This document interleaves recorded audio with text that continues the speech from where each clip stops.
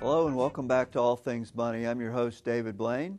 During the second segment of today's show, we're going to continue talking about uh, overconfidence in investing and how investing should not necessarily be exciting, it should be boring, and that some of the accumulated wisdom over the past 50 years of, of people on the academic and research side of investing, not the Wall Street side, you know, there's tremendous body of knowledge that points to reasonable methods of constructing a portfolio to accomplish your goals. Things like asset allocation, diversification, um, you know, risk, discipline, these type of things. And as I was saying in the first segment, despite all the accumulated wisdom, this people still tend to look at investing as something that needs to be exciting or picking stocks or you know following the news and, and trying to get some edge on everyone else. And the reality is it's just shown that it's just not possible and that there's literally trillions of dollars spent every year in this, this pursuit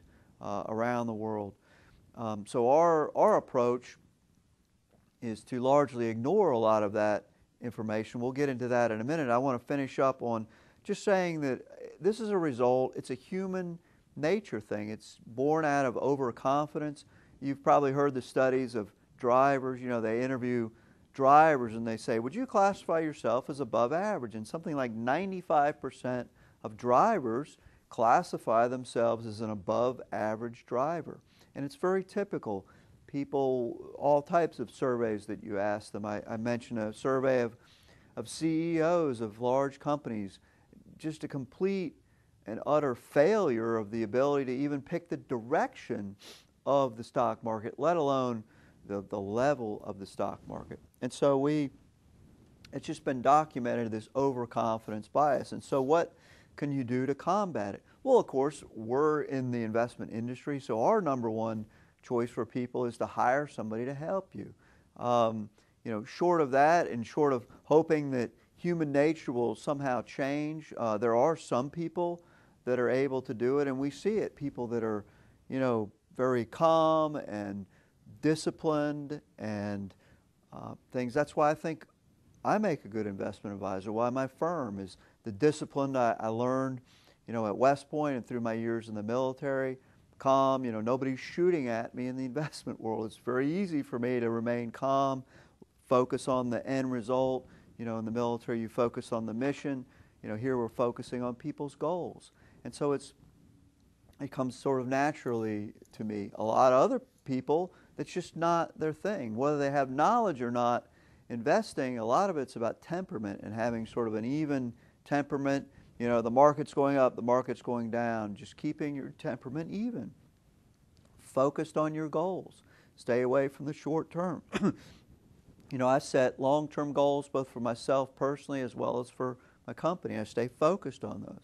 That's what it takes to be a good investor. And so many people are focused on the short term.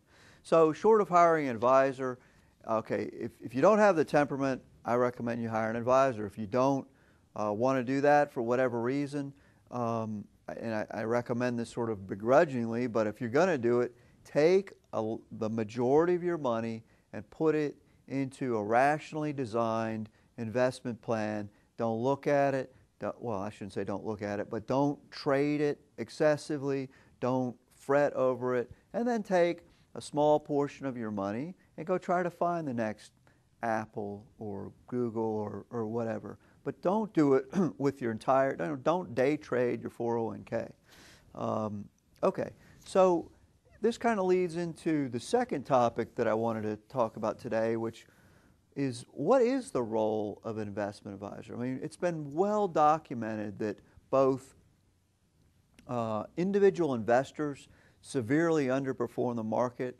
Most of them don't have the temperament to invest. Most of them either don't have the knowledge, or if they have the knowledge, they don't have the temperament uh, to invest properly for their future.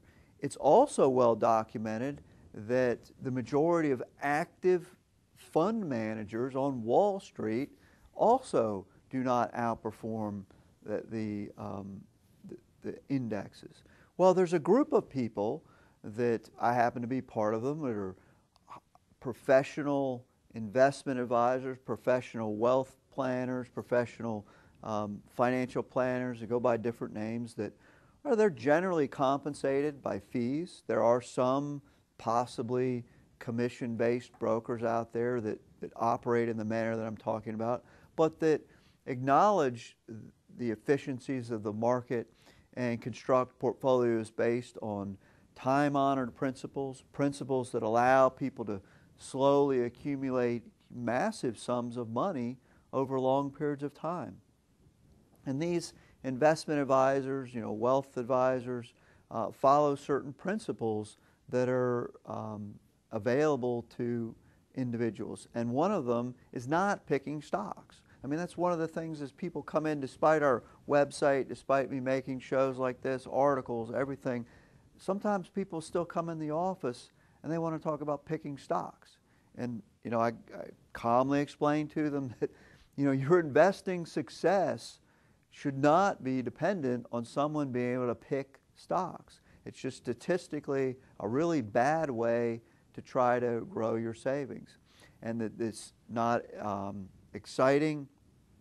Uh, it's you know largely a revolves around your goals, setting policies and plans and things like that. And so if you're not going to do it yourself and you're looking for an investment advisor, I want to talk about what the role of a good advisor is and, and what it's not. It's not picking stocks. It's not knowing, you know, the inflation rate in Bangladesh and how that impacts your portfolio.